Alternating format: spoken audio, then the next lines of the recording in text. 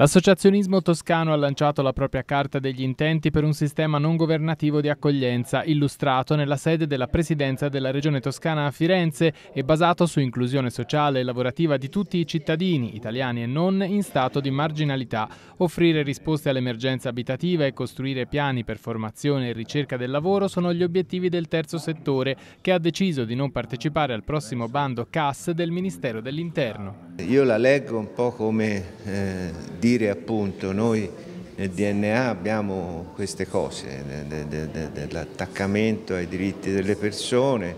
eh, dell'accoglienza, di sostenere chi eh, italiano o straniero ha bisogno di un qualcosa d'essenziale eh,